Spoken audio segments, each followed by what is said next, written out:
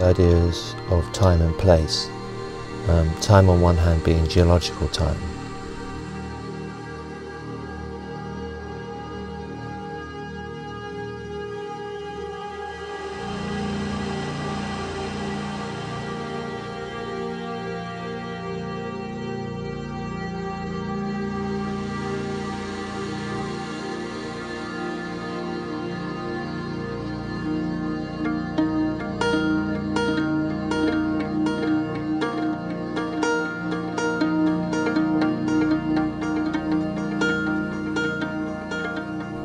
His geological legacy is very much evident in the Ice Age erratics that dot the horizon, in the turloughs, and in the clints and grikes that have been etched onto the surface of the limestone. I think these marks are very much acting as natural hieroglyphics that chronicle its weather journey over time. And then as the light fades, you look up and see the lights of a satellite or a distant radio mast and you become instantly aware of a whole other landscape all around you, maybe not visible, but they're all the same.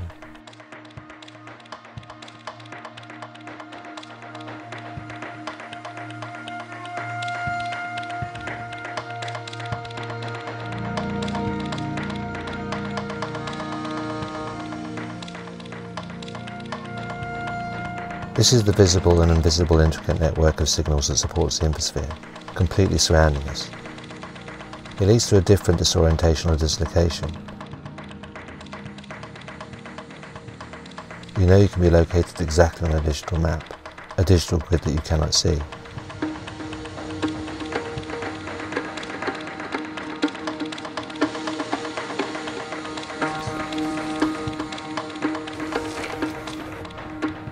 As our material environment constantly shifts and changes, so does our perception of it.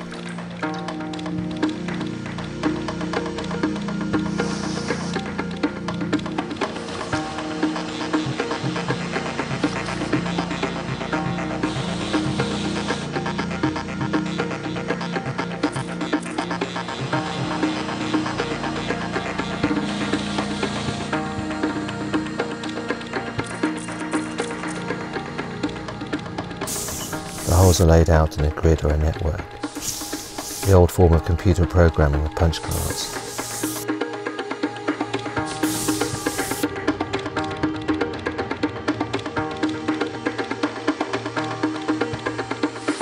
As the light catches the varnish, the holes appear and disappear as you move in relation to the surface.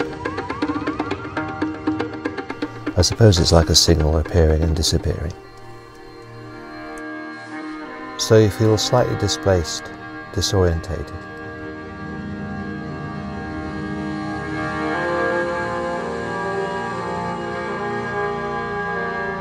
Where certain forms, patterns and textures repeat themselves.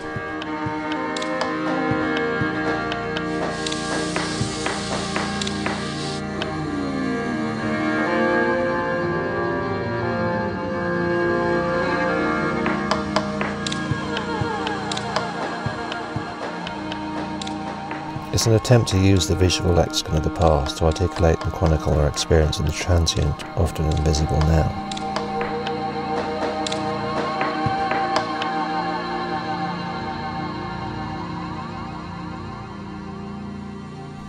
And I suppose the real question is, where do we locate ourselves within these two very different landscapes?